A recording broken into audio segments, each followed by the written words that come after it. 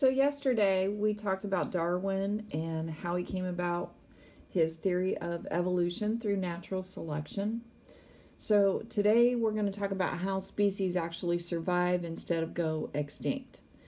So um, especially when their environments are changing. So, natural selection is the process uh, by which populations of organisms with variations, and these variations are inherited, they're differences or mutations in their DNA. Um, and these variations can either help them survive their environment or make it worse for them. So, nature actually selects which variations a species will use in order to adapt to its ever changing environment. So, environments have always changed.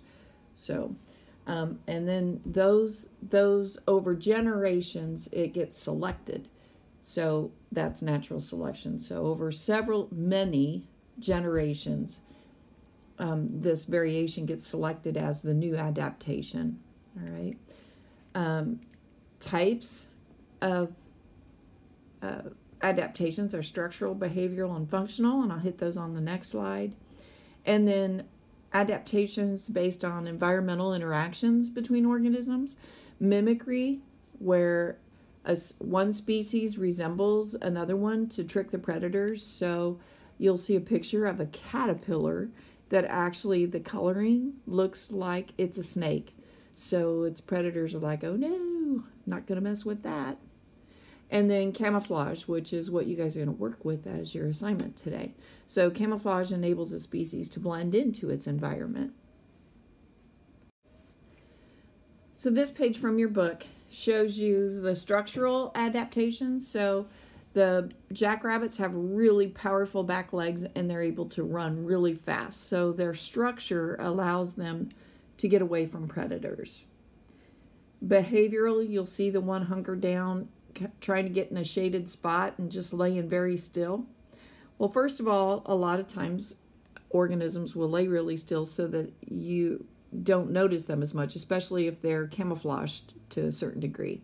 But it also allows them to stay cooler.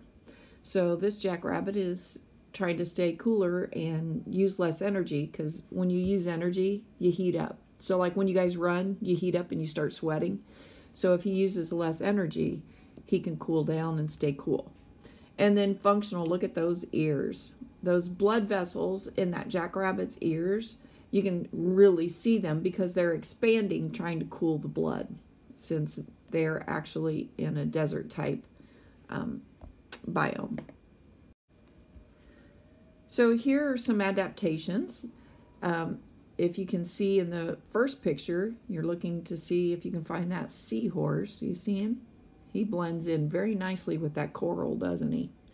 And then there's that caterpillar whose coloring makes him look like a snake.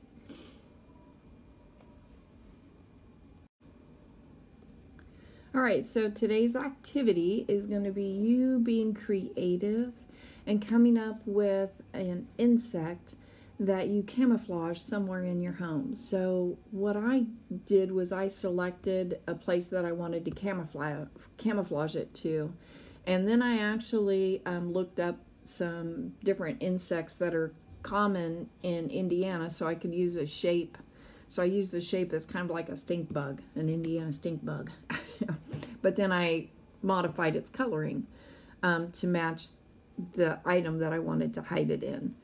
So um, the procedures are here. Pick your place, then decide what material you're going to use. I use just a piece of computer paper and a black marker, but I will attach um, a video for making Play-Doh.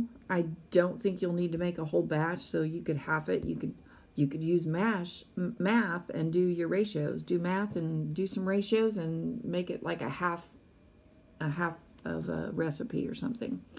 So i want you to have fun and be creative and then take a picture of it when you're done. Take a picture of your camouflaged insect write your name on it and then submit your picture to google classroom. I am so excited to see what you guys come up with. So have a little fun with it all right? On the next slide i have um, a what I did, an example of what I did this morning.